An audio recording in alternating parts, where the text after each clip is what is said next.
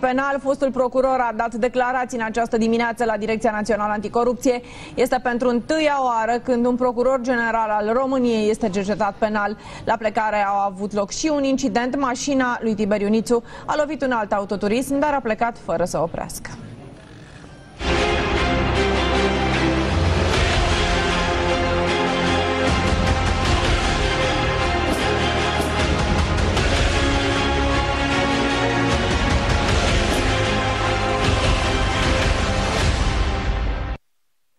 Mai multe detalii ne de colega mea Berta Popescu. Bun găsit, Berta, ce s-a întâmplat?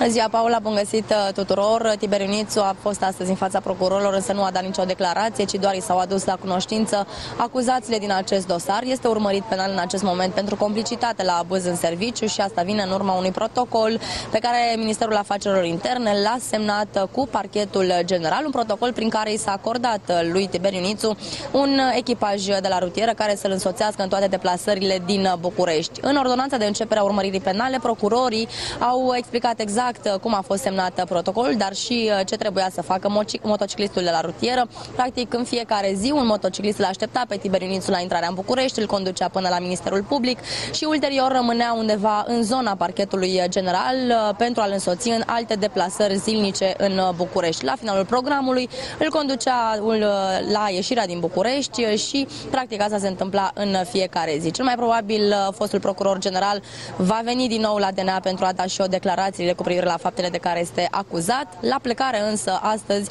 după ce s-a suit în mașină, șoferul său a dat cu spatele și a lovit o altă mașină, nu a coborât să vadă ce s-a întâmplat, ci pur și simplu a plecat în trombă. Nu am solicitat și nu am avut niciodată coloană oficială. Nivelul de protecție care se asigură oricărui demnitar în funcție de responsabilitățile pe care acesta le are și modalitatea efectivă de punere în aplicare a măsurilor de protecție nu este atributul beneficiarului. Am avut un dispozitiv de însoțire și protecție proporțional cu riscul pe care uh, îl presupune exercitarea funcției de procuror general.